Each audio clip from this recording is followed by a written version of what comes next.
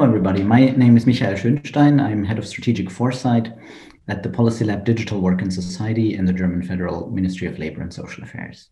I've been invited um, today to uh, comment a little bit on our efforts to use big data in labor market intelligence. And in order to do that, I would like to proceed in three steps today. First, um, I'll give a very short background on the uh, substantive issues actually occupying us when we look at digitization in the German labor market at present. Secondly, um, I will present um, a couple of pilot projects that use big data to make sense of all of what's going on. And then finally, I'll conclude with a couple of open uh, questions for discussion. So to get started, um, we've often heard um, about the issue of tech upheaval in labor markets. And of course, that is a big issue in Germany as well. It is mainly driven by um, many studies that show increasing automation potential. I have brought two examples that I'm showing here. One is from the Research Institute of the Federal Employment Agency in Germany. The other one is from the OECD. Those are very, very different um, studies using different methodologies. But with those different methodologies, they both look at the same issue, namely, how many people work in jobs that are potentially automatable? What they mean is how many jobs um, comprise tasks that can be taken over by machines. And um, what both of those institutions have found is that the share um, of people who work in such jobs has been increasing and it's been increasing relatively fast. The IAB um, has been replicating a study they first conducted in 2013, again, five years later in 2018, and they found an increase of about 15% working in uh, potentially automatable jobs to one in four, 25%. The OECD, um, as I said, using a different methodology, estimated in 2016 that in Germany, around about 12.6 um, uh, percent of the people were working in jobs that would be potentially automatable, um, and that that share has gone up to about 18% um, in 2018. Um, now, of course, um, when we hear news like that, what happens is um, that it shapes very much the public perception of what is going on in the labor market. And this is not happening for the first time. What I've brought you here um, are three covers from a German news magazine called Der Spiegel.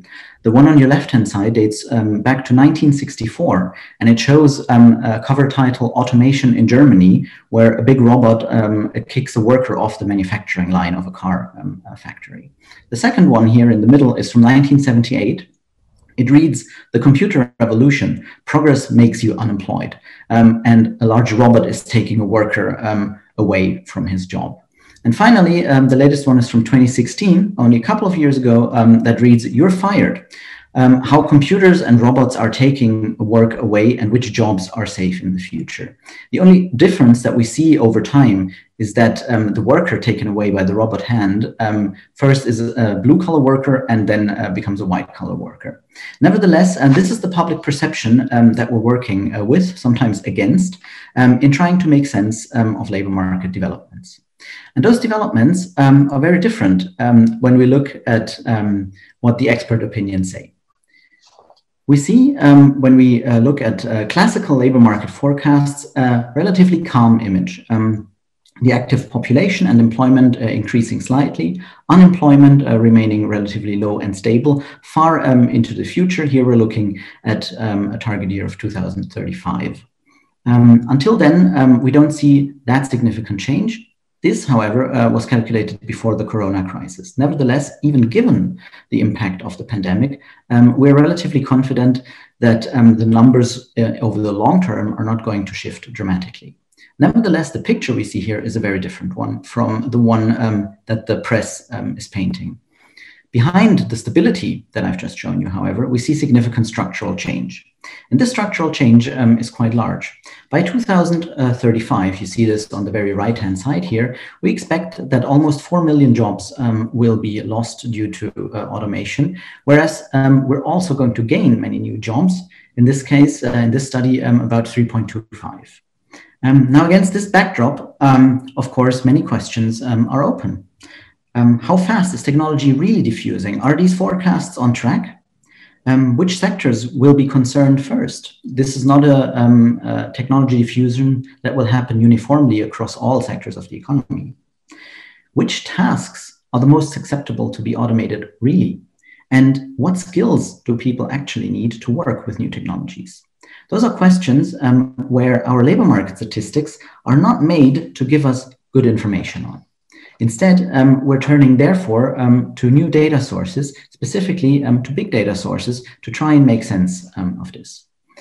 Um, we're working generally um, on different uh, timeframes, and given the different timeframes we're looking at, we're also using different methods. A big chunk of our work is actually trying to make sense of the present day. this is where we use report statistics, but also try to use current big data in real time, if you like.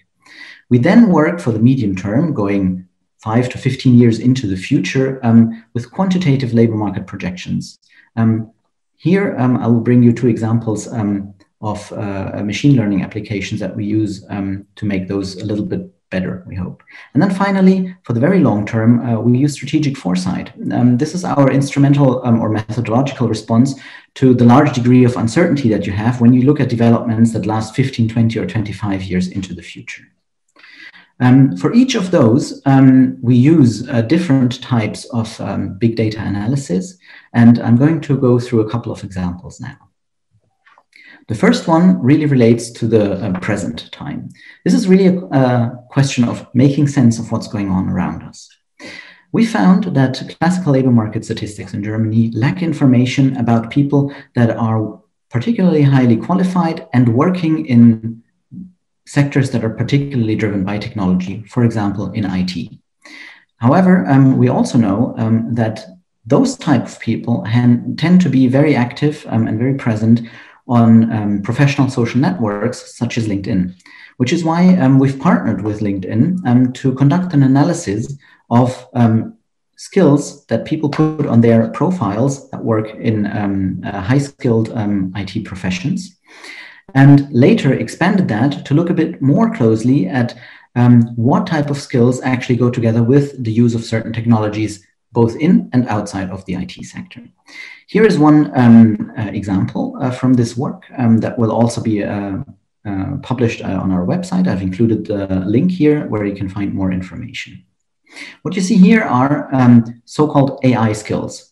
Um, I've chosen this example because artificial intelligence is something everybody talks about right now. Um, and really, many people say, well, it's really important that we equip our workers with the right skills to design, develop, and diffuse artificial intelligence driven technologies.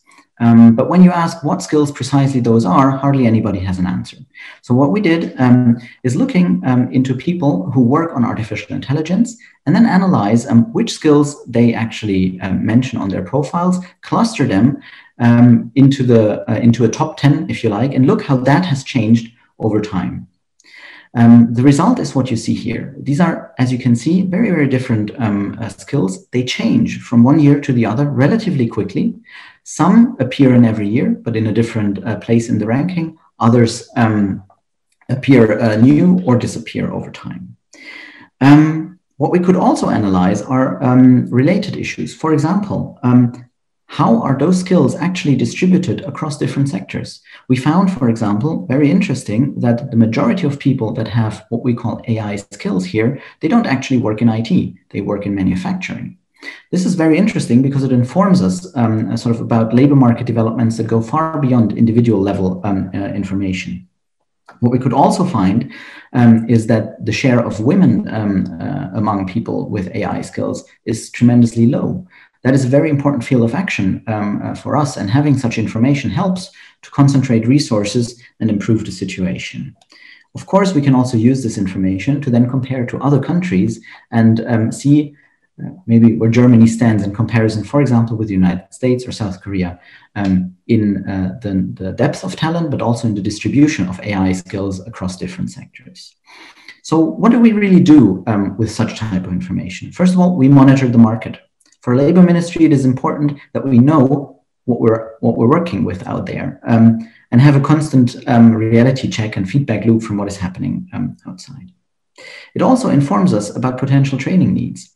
The uh, results that we find from this analysis are made available through counseling um, centers that we have all over the country, for example, to small and medium enterprises that want to invest in artificial intelligence based technologies and need to hire people. Very often they wonder, well, what kind of skills should I prioritize when I hire people? And this can help um, inform a decision there. But also, um, it helps us to monitor the distribution um, and the diffusion um, of AI based technologies across different sectors. Um, this has been a very unexpected side effect of our analysis. But what we really found is because we have this result that uh, we see many people with AI skills in sectors outside IT, um, it allows us to assume better um, where technologies that are based on artificial intelligence are actually used in other sectors. So that has been um, a very uh, uh, interesting project that um, we've piloted and are right now um, uh, scaling uh, into a continuous use. A second example that I'm bringing um, relates to the quantitative forecasting and the more medium-term time frame. Um, here, what we did is that we worked with um, the uh, Research Institute of the Federal Employment Agency that I already mentioned earlier, the IAB, um, in a pilot project to develop a method that uses machine learning to monitor changes um, in the demand for skills from job advertisements. If you like, this project complements the other one that I just presented in that the first one looked at the workers and the skills that they presented as having, so the supply of labor. Whereas here in this project, we're looking at the demand for labor, um, analyzing vacancy notices. Um, we um, trained a machine learning model, um, first of all, in order to understand which parts of a job advertisement actually relate to skills, as opposed to, for example, a description of the company.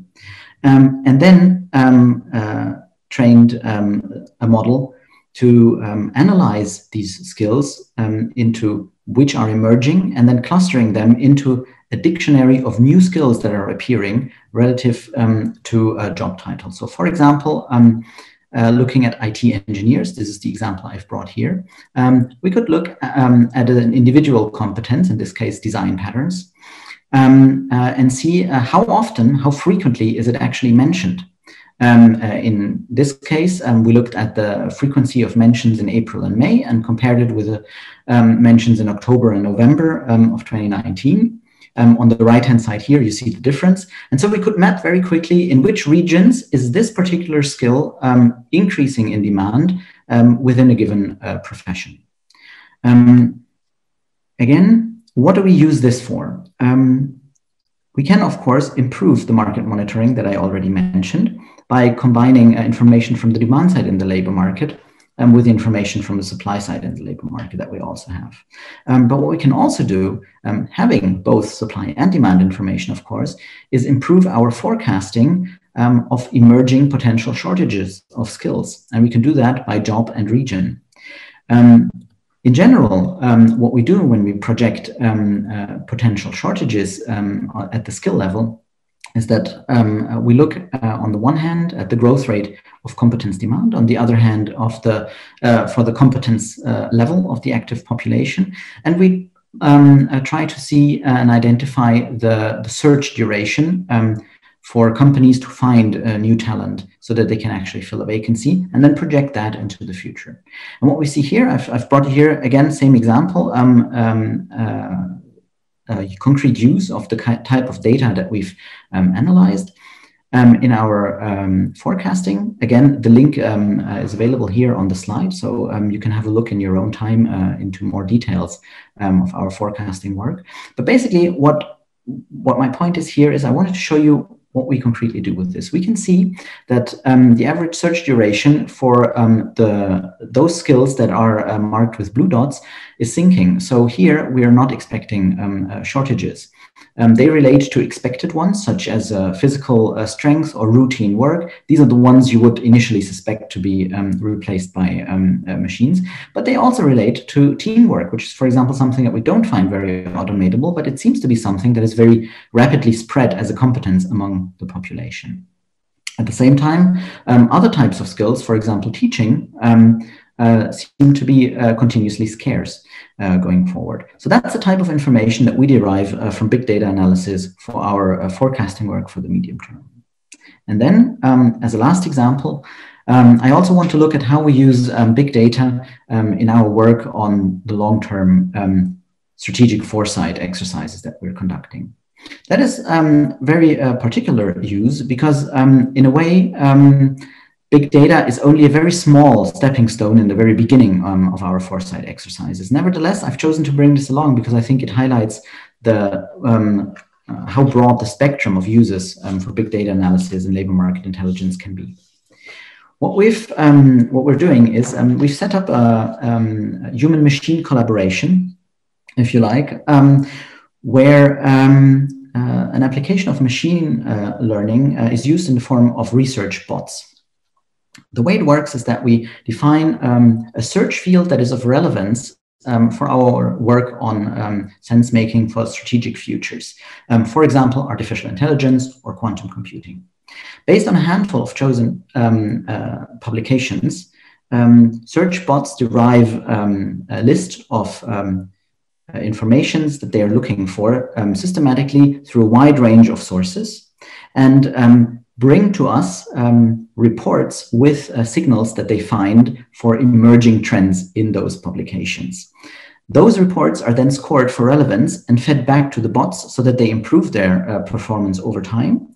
And in the end, um, what we get is um, a uh, report that's compiled by bots and then edited by humans um, uh, as a kind of background reader on an emerging trend, for example, in artificial intelligence. Um, the added value that we see here is that we can go through a much larger amount of data than any human could. Um, our bots um, analyze 250 million um, scientific publications, uh, around about 50,000 journals and 75,000 news publications um, in a matter of hours. Um, that is not something uh, we could be doing with humans alone. So in this case, um, uh, our uh, data analysis is really one that complements um, sort of human um, analysis by recasting a very wide net very quickly. What do we do with this, with these results? First of all, they um, help us um, in the shape of a kind of trend radar, if you like. Um, we can very quickly um, identify connections between emerging trends. One example is what I'm showing you here.